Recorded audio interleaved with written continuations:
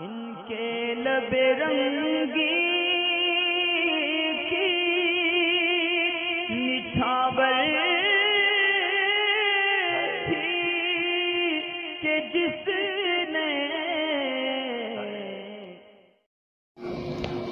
وعلیکم السلام ورحمۃ اللہ۔ دل نواز احمد۔ یہ معلوم کرتے ہیں کہ بھانجی کی شادی میں ماما کو بھات دینا ضروری ہے۔ اگر نہ دے تو کیا حکم ہوگا؟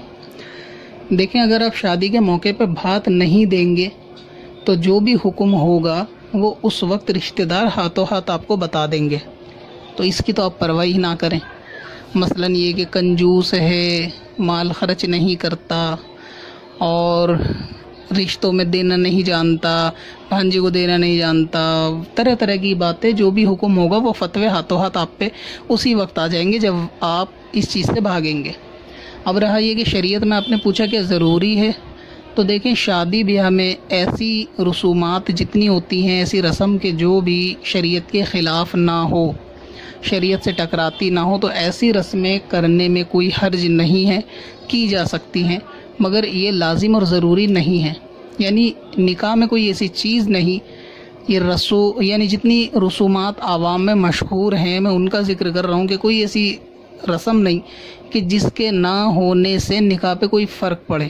لڑکا لڑکی گواہ ہوں، مہر کے ساتھ نکاح کر لیا جائے۔ نکاح اس چیز کا نام ہے، باقی جتنے کھانا کھلانا پلانا رشتہ داروں میں جو رسم ہیں، ان سب کے نہ ہونے سے نکاح پہ فرق نہیں پڑتا۔ مگر جو بھی رسمیں جائز ہیں، جن کو کرنے سے شریعت نے نہیں روکا یا شادی کے موقع ہی پہ وہ رسمیں کی جاتی ہیں، پھر ان کو دوبارہ عام دنوں میں کوئی کرتا نہیں ہے تو ان رسموں کو کرنے میں کوئی حرج نہیں۔ دوسری بات یہ کہ کوئی ایسی رسم کہ جس میں سامنے والے مسلمان کا فائدہ ہو جائے، اس کا دل خوش ہو جائے، چاہے وہ تحفے کے ذریعے ہو، چاہے وہ پیسوں کے ذریعے ہو، اور نہ کرنے سے لوگ تانا دیں گے یا لوگ طرح طرح کی باتیں بتائے، بنائیں گے، تو بہتر یہ ہے کہ ایسی رسم میں حصے داری لے لینی چاہیے، اس میں کوئی حرج نہیں ہے۔ بعض اس میں جو خرابیاں دیکھنے میں آئی ہیں، وہ اس قسم کی آتی ہیں کہ بعض لوگوں کا یہ اعتماد ہوتا ہے کہ جیسے بھانجی وغیرہ ہے کہ شادی میں تو اس کو دینا ہی ہے، تو پھر وہ عام زندگیوں میں نہیں دیتے یا پھر کمی کرتے ہیں۔ مثلا یہ کہ دوسرے تہواروں پہ یا دوسرے موقع پہ وہ ان کو نہیں دیتے، لینا دینا جو ان کا حق ہوتا ہے بچوں کا وہ نہیں دیتے۔ اس اعتبار سے کہ جی نکاح کے ٹائم تو ہمیں دینا ہی ہے۔ تو وہ بے وقوف اس لیے ہیں کہ نکاح تک یہ زندہ رہیں گے، اس کا تو ان کو خود اعتبار نہیں ہوتا۔ پتہ چلے کہ تا عمر جو ہے بھتیجے، بھانجے، بھانجیوں کو محروم بھی رکھا لینے دینے سے اور پھر جو ہے نکاح سے پہلے اگر وفات ہو گئی تو پھر دینے کا پھر کوئی فائدہ بھی نہیں اور نہ پھر وہ دے سکتا ہے۔ تو اس رسم کے لیے ہی خاص دینے کے لیے انتظار نہیں کرنا چاہیے۔ ان کا حق ہوتا ہے بچوں کا، تو ان کو زندگی میں بھی کھلاتے، پلاتے اور اس طریقے کے تحفے یا جتنی مدد کر سکتا ہے، بندہ اس کو کرنی چاہیے۔ خاص شادی کا انتظار نہ کرے۔ ہمیشہ کرتے ہی رہنا چاہیے۔ کیونکہ ایسا سننے میں ضرور آیا ہے کہ وہ جو ہے نا، بھات تو پھر ہمیں دینی ہے، اس لیے ہم ابھی اس موقع پہ یہ نہیں دے رہے۔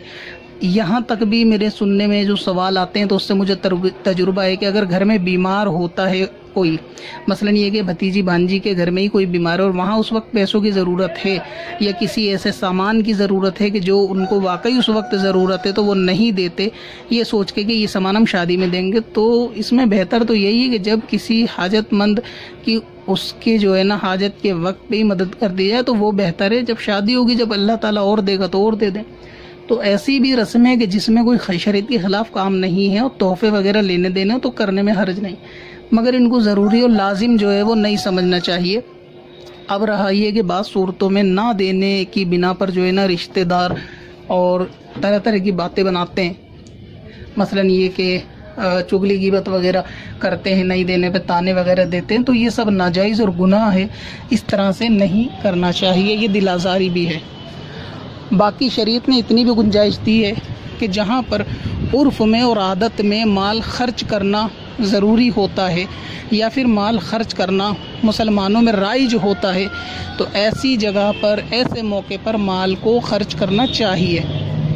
ورنہ شریعت اس میں جو ہے، اس آدمی کو بھی کنجوس قرار دیتی ہے یعنی وہ آدمی بھی پھر بخیل ہے، کنجوس ہے۔